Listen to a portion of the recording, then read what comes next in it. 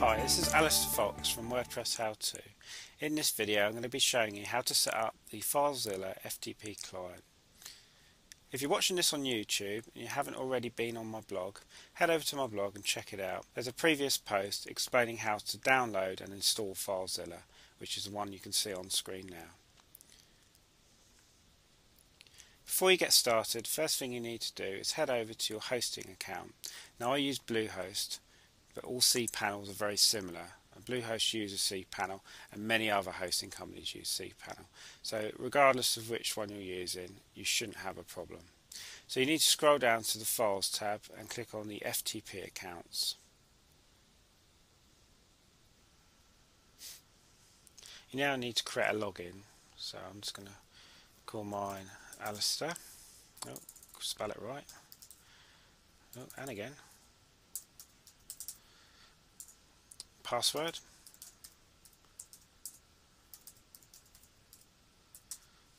Uh, you don't need the name on the end there. All you need it to say is public HTML. Alright, with a slash.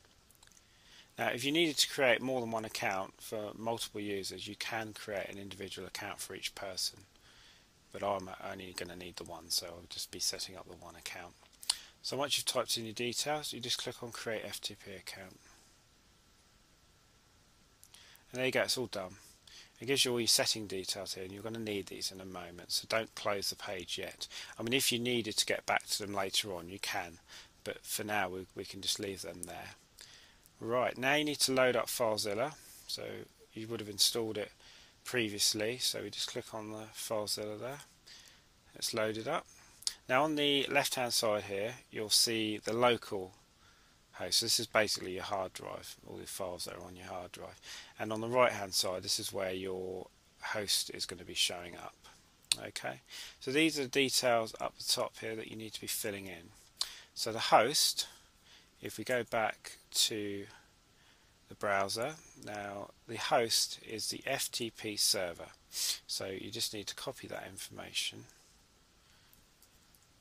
and paste that in there and then you've got your username. And my username is that.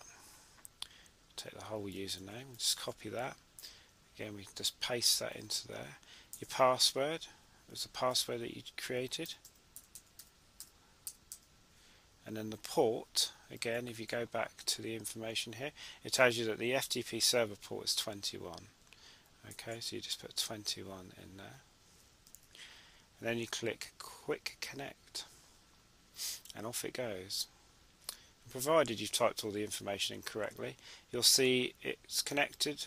It'll tell you that it's been list, uh, successfully connected there but also you'll see the files show up here.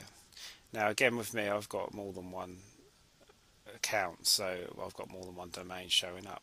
So if you want to get to a specific domain you just double click it and what I'll show you here is I'm just going to find my WordPress how-to one there. And that's taken me to my WordPress how-to domain. So that's all the files that are in there. Now another good thing to do is to bookmark it. So next time you want to come back to the same folder it's quicker to reconnect.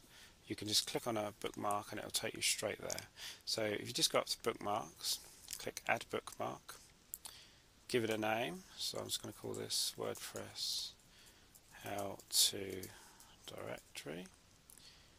It automatically knows obviously the, the destination and you need to click site specific bookmark and then click OK and that's it.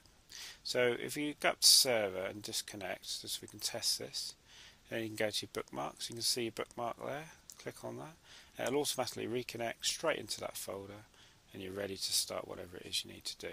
And you can set bookmarks up for all your different folders on the server so they're a lot easier to get to. But there you go, that's it. So remember to check out, if you haven't done already, check out the previous post. There we are. If you haven't already read that, read that first and then you can follow through on the video a lot easier.